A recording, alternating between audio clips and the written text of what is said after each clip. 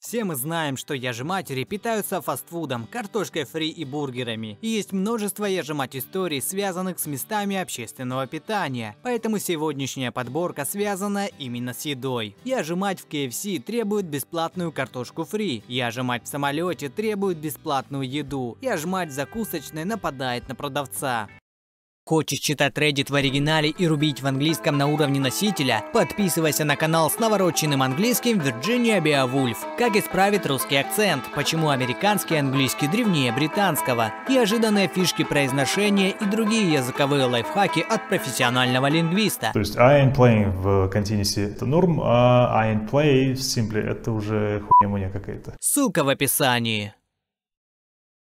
Я же мать в KFC требует бесплатную картошку. Эта история происходила в Австралии, в моем местном KFC. Вот все действующие лица в истории. А теперь, после того, как мы познакомились с главными действующими лицами, можно перейти к самой сути повествования. Я сидел в местном KFC с моим младшим братом, наслаждаясь вкусной картошкой фри и бургерами. Я и Бен, мой брат, говорили о нашем любимом Reddit. Он рассказал мне, что читал сегодня на форуме, что ему запомнилось и свои размышления. Спустя 10 минут приходит я ж мать. Выглядела примерно лет на 40. У нее были светлые волосы, она носила красную одежду, ну и, конечно, лишний вес. С ней был мальчик лет 15-17. Я уже подозревал, что что-то должно было произойти в этом KFC, как только она вошла через эту дверь. «Привет, сэр, можно мне картошку фри, пожалуйста?» «Да, мадам, это будет стоить 2 доллара, но я хотела бы получить ее бесплатно». Нет, мадам, фри бесплатно только при покупке комплексных обедов или за 1 доллар при покупке бургера. Это все акции, которые у нас активны сейчас. Я хочу, чтобы вы дали мне фри бесплатно. У меня же ребенок. Мы не можем сделать это, вы должны заплатить за это. И кроме того, всего лишь 2 доллара. Цена и так невысокая. Тут стоит сделать отступление. 2 доллара австралийских – это меньше, чем американский доллар. И зарплаты в нашем городе были довольно высокие, что даже я, обычный студент, мог позволить себе сводить младшего братишку в КФС и делать это довольно часто. Я не буду ни за что платить. Я мать, мне должны давать все это бесплатно. В этот момент я мог видеть, что сотрудник КФС становится очень напряженным. Мадам, я уже объяснил вам, что такой акции у нас нет.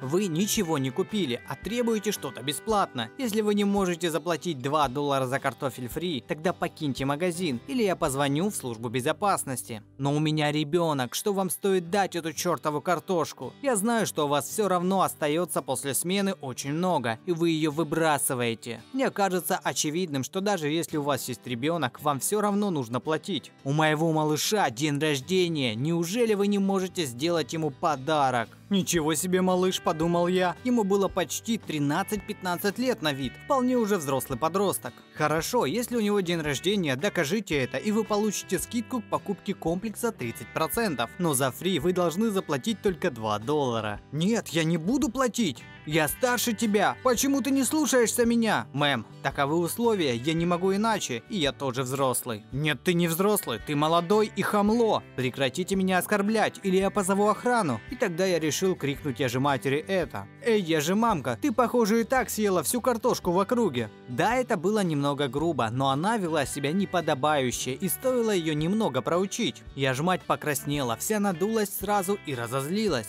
Подошла ко мне и протянула руку. Дай мне свой кошелек. Фиг тебе, а не мой кошелек. И тогда у меня появилась идея. Я закричал. Помогите, эта старая ведьма домогается меня. Все люди в кафе просто окаменели и уставились на нее. Я ж мать замерла, покраснела еще больше и запаниковала. Прошипев что-то в мою сторону, она схватила своего ребенка и вылетела из КФС. Напоследок она как следует хлопнула дверью. Я и младший брат посмотрели друг на друга, и он сказал, что черт возьми только что произошло. Немного демонстрации того, как не надо себя вести. Я не хочу видеть кого-то вроде нее больше. Если честно, она ненормальная. Тогда я слышу, что хороший сотрудник зовет нас.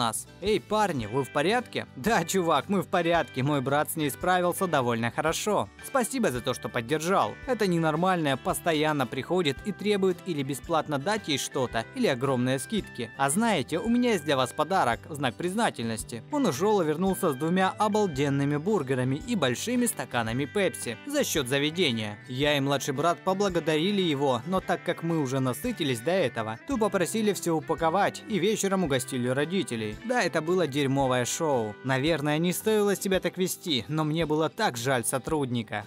Я же мать в самолете требует бесплатную еду. Моя старшая сестра стюардесса, и у нее много забавных историй о всяких ежу-родителях, которыми она и делится со мной. И вот одна из них. Моя Лили, сестра, работала на рейсе из Англии в Нью-Йорк во время летних каникул. В Великобритании летние каникулы конец июля-сентябрь. Поэтому рейсов обычно довольно много. В начале полета моя сестра стояла в передней части самолета и приветствовала всех пассажиров. Она говорит «Доброе утро» женщине, которая была в сером спортивном костюме и тащила за собой маленького белокурого мальчика. Мужчина, предположительно ее муж, следует за ней, держа в руках тихого ребенка. Я же мать прищуривает глаза на мою сестру и даже не здороваясь проталкивается в салон. Мужчина извиняется, говоря, что его жена ворчливая, потому что рано 10 утра и следует за ней. Моя сестра решила не обращать на это внимания и поэтому продолжила делать свою работу. На полпути над Атлантикой она начинает получать жалобы от большого количества пассажиров, что ребенок плачет почти 15 минут. Моя сестра идет в середину самолета и спрашивает мужа ежматери, может ли он успокоить ребенка. Он приносит свои извинения и говорит, мы забыли об ограничении жидкости при доставке молока. В Великобритании вы не можете принести жидкости в ручной кладе объемом более 100 мл. И нам пришлось выбросить все наше детское молоко, а моя жена не хочет кормить грудью. У меня есть сухое молоко, но нет воды. Лили оказывает ему сочувствие и предлагает сделать молоко на своей кухне. Она получает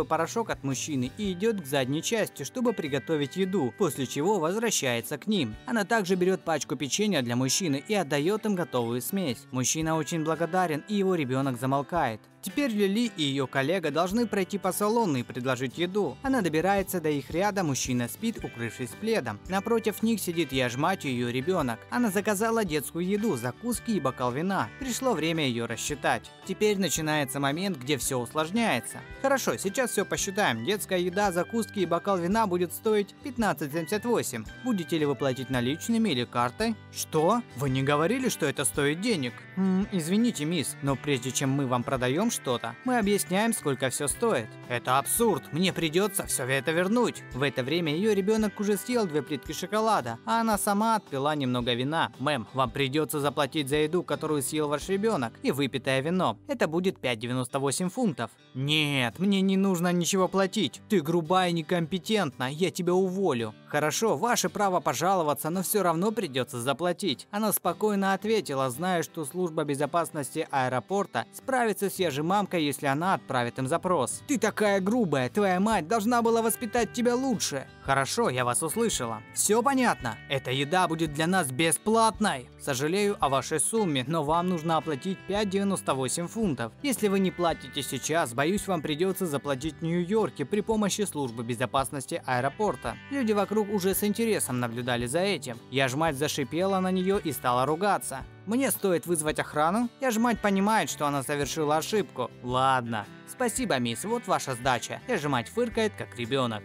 Я ж мать в закусочной нападает на продавца. Недавно я начала работать в закусочной, и мне выпала честь встретить моего первого покупателя. Я думаю, вы уже догадались, кто будет первым моим клиентом. Итак, действующие лица. Я 18-летняя девушка, я ж мать, коллега, женщина 30 лет. Это был мрачный майский вечер. Темные тучи нависали в небе, и воздух был туманным. Шел мелкий противный дождь. Я ждала на кассе клиентов, когда вошла дама. У нее были грязные светлые волосы, на удивление не окрашенные. Также я успела заметить типичные зубы курильщика и тяжелая, плохо сделанная подводка. Она бросила маленький бумажный пакет на прилавок. Я заказала комбо ранее и не получила картофель фри. И да, чека у меня нет. Можете проверить у себя в компьютере. Коллега, который был рядом со мной, бросил на меня смущенный взгляд. Мы приняли заказ леди за несколько минут до этого, и там не было фри. Я просматривала предыдущие заказы на компьютерах, и что вы думаете? Нет комбо с фри, однако клиент всегда прав, поэтому мы просто предложили, что услышали неправильный заказ. Пока картошка готовилась, дама продолжала жаловаться. Я не беру бургер домой. Я не беру бургер домой к сыну без картошки фри. Мы с коллегой. Это чертовски непрофессионально, боже мой.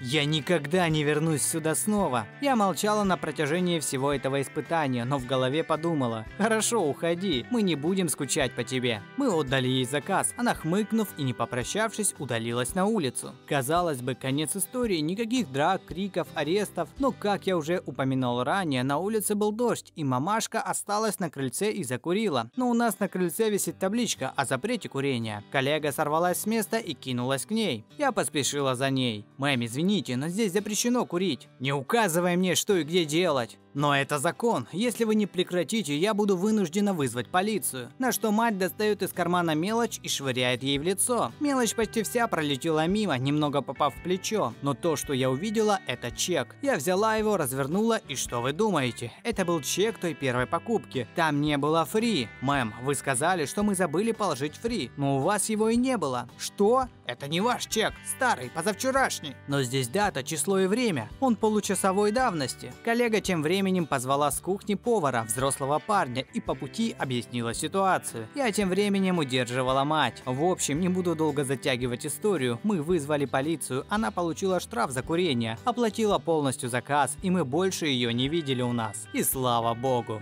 Не знаю, как вам, а мне нравится яжемать истории, в которых они получают по заслугам. Именно так работает мгновенная карма. Хочешь увидеть следующее видео, не забудь подписаться на канал, иначе ты не получишь уведомления. А сейчас ты можешь посмотреть другие треды. Истории людей, которые неожиданно очнулись в больнице. Трешовые истории, ставшие легендой в вашей школе. Учителя, что самое смешное вы слышали от ученика.